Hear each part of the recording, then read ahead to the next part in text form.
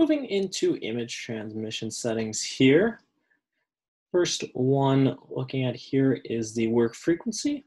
Recommendation would be to just leave it on dual band with OcuSync 2, OcuSync Enterprise. You have the dual band frequency switching that's automated within the application.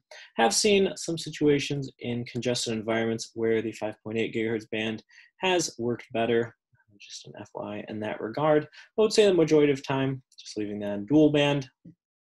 I can manually select 5.8 or 2.4, and then can also click on signal strength uh, to make adjustments as well. But you can see here in the image channel selection, channel mode is set as auto. You can also change it over to custom. And as you can see the warning in the app there, uh, use caution here. You're going to be required to choose transmission channel yourself. And if you choose a channel with strong interference, it may lower image transmission quality. I would encourage you though to just go into the app and check this out. Uh, depending on the area, you'll see uh, just how interference can really be moving around quite a lot in a lot of situations, and that's why the auto can be quite useful. Scrolling down here, you can also change the downlink bandwidth over to 10 megahertz instead of 20. You'd want to select 10 if you're in a situation where potentially you're encountering some strong interference and you're having some issues with that downlink from the drone. Switching that over uh, to 10 megahertz could help in that situation. And then below that, you can also see your image transmission code rate. Moving back to our image transmission settings menu here, I can go ahead and turn the HDMI output on. For your reference, also and the mobile device, such as a smart controller, there's going to be additional settings within the smart controller device settings, not the pilot app settings uh, for the HDMI output itself. I've seen some streaming devices require uh, the settings of the smart controller to be set to 1080p instead of the auto that it's on by default. So just small heads up there. But when you do turn that HDMI output on, you can go ahead and switch the HDMI output video output type. Quite a mouth, mouthful there. About three options, duplicate screen, basically exactly what you see on the mobile device screen, the smart controller screen, the CrystalSky screen is what's going to be displayed. Uh, maybe you have a big TV monitor that you're going HDMI to HDMI or wireless connection there uh, with the HDMI. Clear camera view would be just a clear camera view, camera only. And then camera view is going to be uh, the camera view that you have selected plus uh, some telemetry information. And if we get into something like Matrice series, uh, just for reference, uh, the camera view would be the one that you have selected as your main screen, uh, not the one in the bottom right, uh, second camera, FPV camera, etc. Mavic 2 Enterprise, it's only one camera, that you have selected on your main screen. You don't have an option for another one. So it would be that camera view. Aircraft battery. First off, you can click on the details of the battery itself. You can see with the Mavic 2 battery here, it's four cells, 3.73 volts, 3.72 volts. Can obviously tell uh, this voltage is getting pretty low. Uh, voltage doesn't go down to zero like your battery percentage does, just as an FYI. And something you technically want to monitor here, if the app didn't do it for you, it does, is would be a significant deviation between cells. So if one was at 3.8 and one was at 3.7, uh, that would be an issue. Um, but we'll look at our recent battery maintenance a guide for enterprise drones, or just I guess DJI drones in general, or the battery safety guidelines form for more information on that. But you can also see uh, information here, battery percentage, temperature, voltage, cycle counts. All right, so batteries should be retired at a maximum of 200 cycles. So that's how you would use a cycle a cycle count, can see the production date, serial number as well, if that was needed. But going back to here is a real key concept here. First one being smart return to home. So this as it says, the aircraft's going to return to home when the remaining battery is only enough to return to home. And you can see I've kind of highlighted it in orange rectangle here, and it's shown up here in the top left as that yellow H.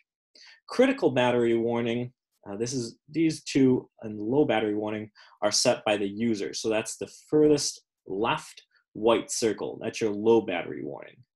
I'm uh, sorry, critical battery warning. Critical battery warning on the left because that's this. You can think of this as like a timer, right? The drone's slowly going down. We'll have another example of this in the next page. And then low battery warning, uh, we can see at 20%. So in this situation, it's going low battery to smart to return to home uh, to critical battery warning. And we'll get a little more in depth here. You can see another example here where the low battery warning is much higher uh, than smart to return to home and the critical battery warning. So first off, a low battery warning. This is going to be set by user and the RC is going to beep, beep, beep. Basically just like heads up, the low battery warning that you set is starting to go off. Smart return to home is determined by the drone software uh, based on how far away it is, what your return to home altitude is. It's saying, all right, at this point, we need to return to home uh, to make sure we land with sufficient battery life. Critical battery warning, once again set by the user, and the RC is going to start beeping faster. Beep, beep, beep. Could just be the RC myself. And then finally, low battery aircraft landing. So this isn't something you can set. Basically, the drone's just like, I don't got anything left in the tank, I'm coming down. Uh, so it's going to start descending. You do have some control over the aircraft. Uh, good to reference user manual in that regard, uh, specifically uh, for battery uh, landings and whatnot. Uh, but ultimately, the, the aircraft is coming down. It's going to land because the battery is so low.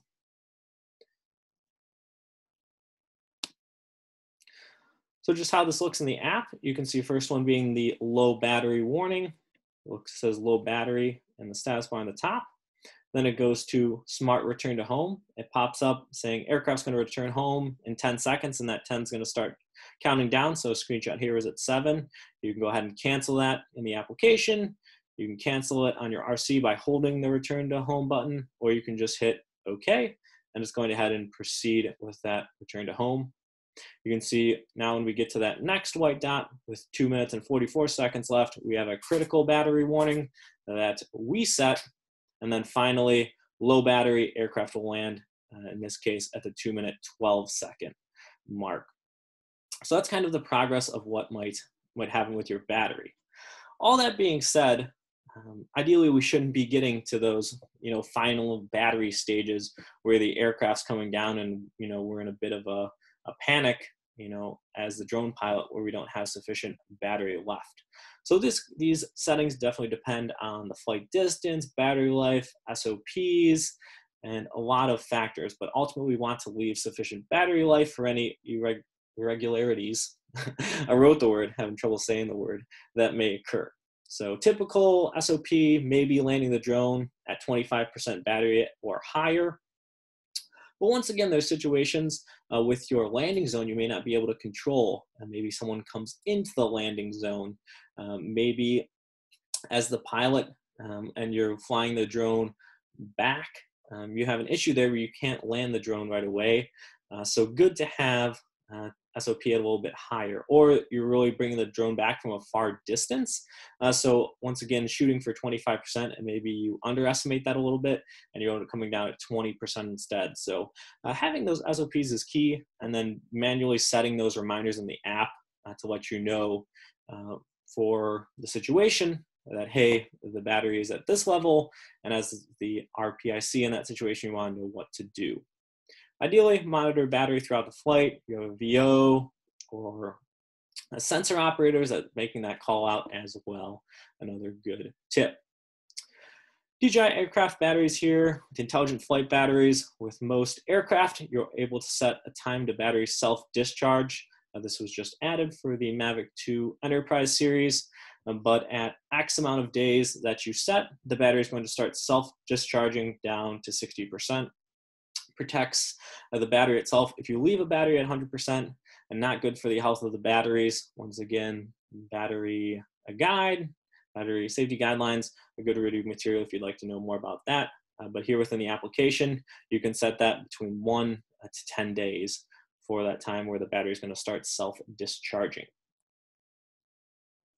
Gimbal settings here, uh, you can set your gimbal mode to FPV or follow. Follow's default. I don't know exactly why you would use FPV in most scenarios because the camera is going to yaw with the aircraft instead of staying steady on the horizon and yaw left or right with the aircraft. So I just leave this in follow mode uh, the majority of the time.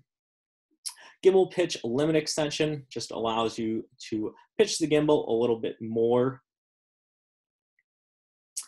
and just showing some more settings here. It was easiest to demonstrate with a video. Uh, but first one, we're going to increase the max gimbal pitch speed. So you can see when the camera is going up and down, it's moving quite a lot faster. The next one, uh, max gimbal pitch speed, uh, lowering it. So you can see the gimbal is moving a lot slower. Reset gimbal parameters. If you want to reset those pitch speed values, and then camera forward down. We'll just bring the camera forward and down. A gimbal calibration, if the gimbal is not centering properly, might want to go ahead and do a gimbal calibration.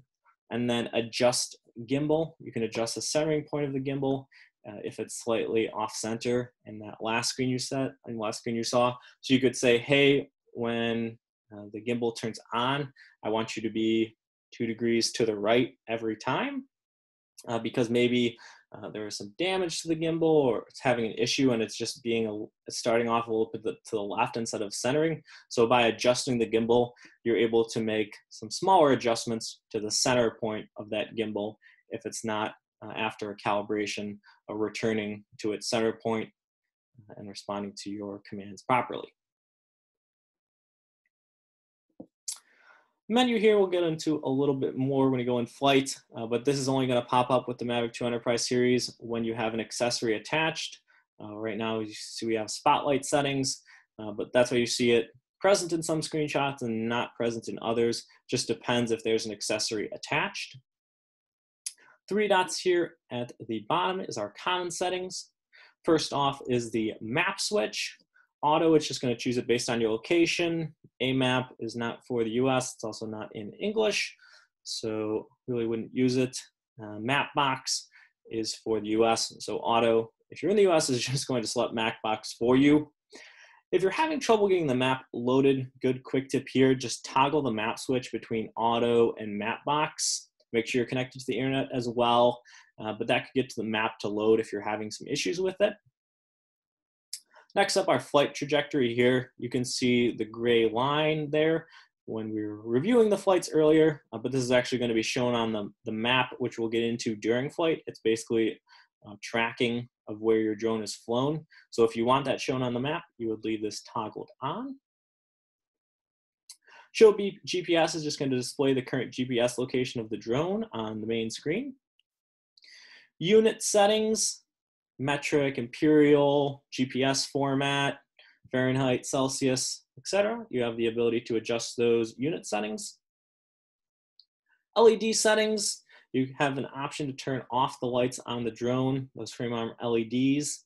Uh, so kind of just discrete mode here if you didn't want those lights on the drone. Live stream, this would be an option for streaming. Obviously the HDMI out from the controller is another one, um, but you would type RTMP colon slash slash RTMP address slash stream key. So RTMP address and stream key are two things you're going to have uh, when completing an RTMP stream. Common settings here, ESC beeping.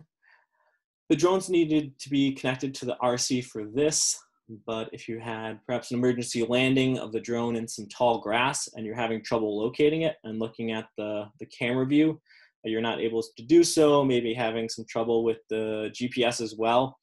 Uh, and you could just test this uh, with your drone on the ground, but you turn ESC beeping on, the drone is just going to start uh, beeping. Um, but kind of a neat feature when you turn the drone on itself and you hear the da -da -da I don't even know if I'm saying that right. Man, messing up all my sounds for things I've heard so many times in my life. But uh, ESC beeping, you can enable that. Aircraft pretty much will start beeping for a location. RC needs to be connected to the drone. Can change the device name of the drone. Uh, that shows up in your aircraft logs if you're looking at flight records. I mean, use I'd say for that. And then finally, if you click on About here at the bottom of Common Settings, this is important if you'd like to check your current versions reference that with the most recent release notes on our website and also the DJI Pilots page. It's part of the Download Center. You can also check for updates as long as the RC is connected to the internet. That will be a successful check. If you check for an update, the RC is not connected to the internet, it's just going to say latest version. And then if you scroll down, you can get the flight controller serial number, which you would use uh, for no-fly zone slash geofencing unlocks. You need the flight controller serial number of the drone uh, for that. And here in this menu uh, is the way to get that. So we just went over a lot of settings for the Pilot app with the Mavic 2 Enterprise. I know if this is kind of the first time going through that, can be definitely overwhelming. Or if it's, you know, your next time through it, hopefully learn some new items. But this really shows the importance of having a pre-flight checklist as the items in the Pilot app, you know, are an important part of taking flight, but they're just one part of it. Um, many of the variables when we go to fly can be taken care of ahead of time, uh, such as authorizations, inspection of the drone itself, uh, making sure you have your default settings uh, to what you want, uh, so the drone can be launched quickly if that's needed. And circling back to where we started here, uh, the drone, the application does provide a checklist, and that's going to be the first thing you see. And now, hopefully, some of these items uh, or all of them, I should say, make sense now that we've gone through the detailed settings. But you can see how return to home altitude is something that you always want to have correctly set, want to know your flight mode, uh, need to see if there's any issues with your compass or IMU, so you can go ahead and calibrate them, your ESC status, aircraft battery level and temperature, uh, vision sensors, ES, or no, ESC status, we already went over that. Uh, just going down a bit farther though, uh, control stick mode, talked about mode 2 is default for many. The remote controller battery, easiest way to see that is in this checklist. Uh, gimbal status, and then remaining capacity in regards to this one is just the internal storage of the drone, but if you had an SD card, uh, you go ahead and take a look at that as well. So that wraps things up for settings with the Mavic 2 Enterprise series and the Pilot app, kind of before taking flight and we'll continue moving on through this series. Thanks.